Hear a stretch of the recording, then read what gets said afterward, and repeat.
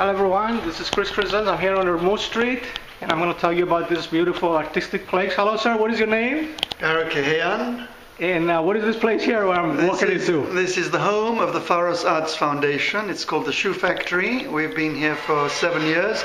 We came here when Ermou was a war zone and nobody else was there. They thought I was crazy, but they were absolutely right. I am a crazy man, but now everybody else has become crazy. The street, as you see, has been regenerated. We have a wonderful museum opposite, the Severis uh, Foundation. Yes, I'm going to go there uh, You're going probably to see them as well. But Uh-huh. as I said, we were we are a beacon of light, and uh, the foundation has been going on for 17 years now. We are one of the most important cultural foundations on the island.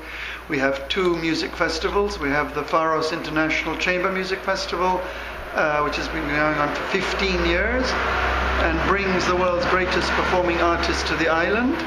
And we also have a contemporary music festival which uh, is a sort of cutting edge, pioneering uh, activity in, uh, in Cyprus. We've commissioned more than 50 works by composers from all over the world.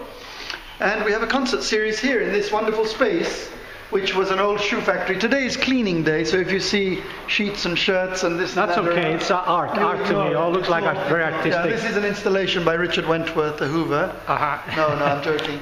Um, but yeah, these are the chairs. These will be put out for a concert uh, on Wednesday evening. Tell me about this painting here. This painting is by a wonderful British artist called Joanna Jones. Uh-huh. The body is the brush. She paints with her body. And she's been to Cyprus many times, and she's a very important British artist living in Dover. Wow. And she has something there called DAD, Dover Arts Development, and she promotes uh, many, many That's in artists. Switzerland? And we cooperate. No, no, in Dover, in England. Oh, in England, in England, okay. Yeah, yeah. These are works by Evis Sammoutis, a very well-known Cypriot composer. Uh-huh. Original scores from some of his works.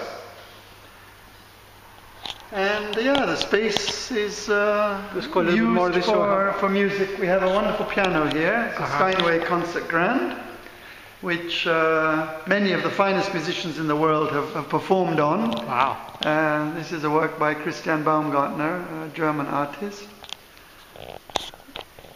And what are the hours? What hours is this Well, foundation? Like the actual building hours for No, no, the space is not opened uh, to the public? Oh, it's just all like. the time. It's only opened when there are events here. We Okay. have uh, film festivals here. We have Oh, screenings. Like different times of the lectures. day. Yeah, we have lectures, and we have our, as I said, our contemporary music festival every Uh-huh. year in October, and we have a concert series throughout the year, and we have everything from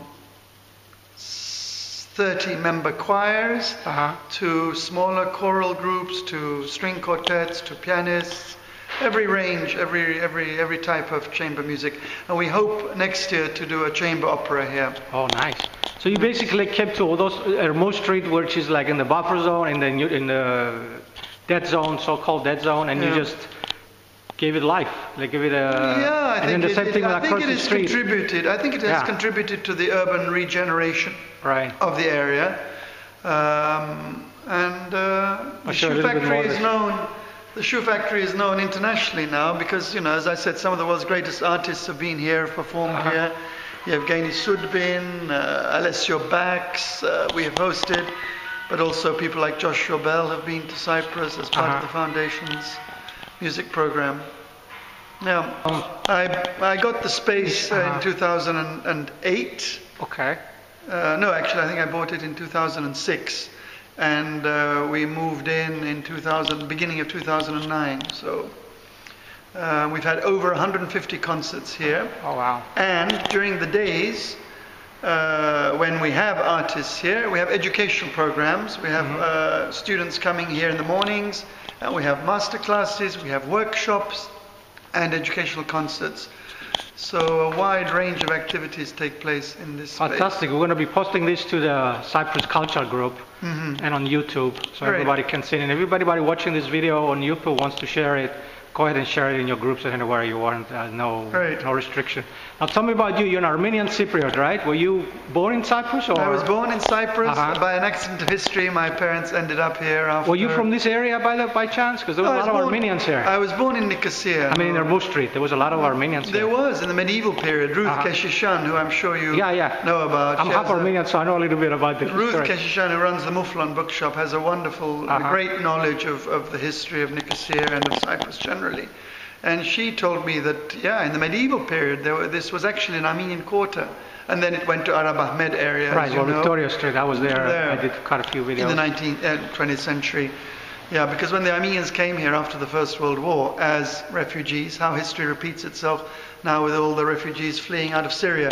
Right. So many Armenians, hun- maybe. Well, my father is originally from Aleppo, Syria. There you go. There He you died go. now, but he, he went from Aleppo, Syria yeah. well, hundreds and States. thousands of Armenians ended up in Syria, Right. and now, you know, with the again, uh, yeah. with the turn of the screw and the new Right, historic right. cycle, uh, they're all having to leave uh, Syria, unfortunately. But anyway, my pa- my family, my grandparents. Uh-huh. Uh, were fortunate enough to get out of uh, Turkey after the Second World War, uh, First World War, Ah. and they ended up in Cyprus. So my father was born here, my mother was born here. Beautiful place. I've, it's a wonderful island. It's such a shame that it's so badly mismanaged by Right, right. our uh, leaders. Yeah, I wouldn't want to say anything, but it's, it's Well, we can. We can be very open. We can say we have an amazing resource here, Uh-huh. which unfortunately, you know, has not been very well managed over the years. do you Mind get- you, 50 years is not a very long time for an independent state. Do you get any aid or any contribution from the European Union or the United No, Nations? very, very little. Li- None really? at all. I'm very, I'm a Euros, I've become a Eurosceptic. Really? I find that uh, European cultural funds are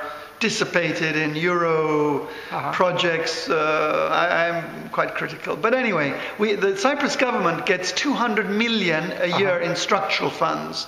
I want to build a cultural center in my olive grove, which will be a world-class center and a huge asset for this country. And yet, you know, there's no money for culture. Culture Right. is a vital and essential component of a healthy, sane, politically mature society. And it brings So- communities together as well. It brings communities together, Oh. but uh, uh, you know, if it's really genuinely done, I don't believe in this artificial mediocrity where you bring a quota of you know Turkish Cypriots, Greek Cypriots, the token Armenian, really Maronite. No, good but if there are you know really serious initiatives where you identify you know talented people, I believe in excellence, and we have Right. always served uh, excellence, the cause of excellence, artistic excellence. And we have hosted some of the world's greatest artists on this island, both in the visual arts and in the performing arts. We also have a center for contemporary art, and we have hosted many important international artists. We've published major books Mhm. uh, of their work Brazilian artists, American artists, uh, European artists, Russian artists. Anything So- coming up in the near future? You can give us any possible dates to th- Yeah, this we year have a concert this Wednesday. We have a jazz concert here. Sometimes the space is used for jazz. We bring Uh-huh. eclectic jazz. This will be a, a Cypriot uh, group cooperating with German artists. We also have a concert coming up uh, on the 31st of October, which will be a, a, an up and coming young Cypriot baritone. We have a Cyprus artist series. We also support Cypriot artists where we can. Mm-hmm. We have also commissioned, as I said, many works by foreign composers, but also Cypriot composers. We work very Anything closely. coming up in 2016 that you Of course, our program is already in place. Because now we're taping this uh, October 26, Yeah, yeah. We, we plan our program at Uh-huh. least a year in advance. Good, you know, if you're going to attract major artists, they know where they're going to be in March. And you are, I take it you are on Facebook and on Of course, and of a course. We have webpage. Twitter, we have Facebook, Uh-huh. we have a web page.